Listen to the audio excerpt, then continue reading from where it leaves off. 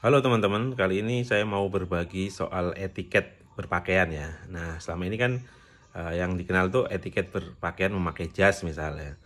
Jadi berpakaian memang ada etiketnya. Misal jas tadi itu, uh, misal kalau kancingnya tiga, uh, dua, itu yang dikancing sebenarnya kalau lagi berdiri hanya yang atas. Lalu yang bawah nggak usah dikancing. Kalau lagi duduk dicopot semua kayak gitulah. Intinya pakaian tuh ada etiketnya, termasuk pakaian yang dari Indonesia nih sarung. Nah, ternyata sarung itu juga ada etiketnya. Nah, ini banyak yang tidak tahu gitu. Nah, di sarung itu ada yang namanya tumpal.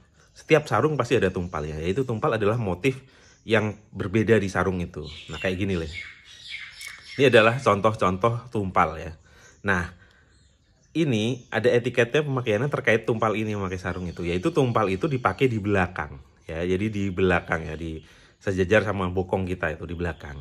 Nah, bagi orang yang tidak tahu etiket memakai sarung, biasanya bukan orang yang kaum sarungan atau yang nggak ngerti sarung, biasanya salah. Seperti contohnya uh, Pak Jokowi itu pernah salah itu memakai.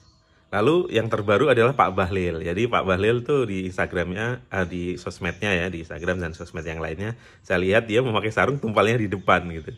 Itu salah. Nah, banyak juga orang yang nggak ngerti uh, etiket memakai sarung memang memakai tumpalnya di depan gitu. Karena kan itu ada motif yang berbeda, apalagi kalau sarungnya polos gitu ya itu ada tumpalnya. Nah, sarung itu polos pun ada tumpalnya. Ketika itu biasanya dipakai di depan. Nah, itu salah karena tumpal itu dipakainya di belakang gitu.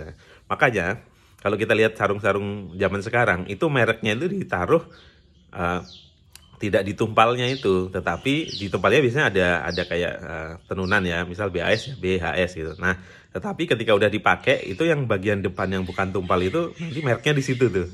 Nah, karena apa ya? Karena itu yang benar gitu. Jadi akhirnya nanti depan belakang mereknya sama-sama ada gitu. Nah, bagi teman-teman yang belum tahu, semoga video ini uh, bermanfaat ya. Jadi biar nggak salah lagi memakai uh, sarung gitu. Termasuk yang pakai jas kan sekarang gara-gara dulu ada presiden salah pakai lalu orang udah diskusikan etiketnya, sekarang orang memakai jas udah udah pada bener tuh. Nah, memakai sarung juga harusnya sama nih, apalagi sarung dari Indonesia ya. Jadi sal jangan salah dalam uh, memakai sarung.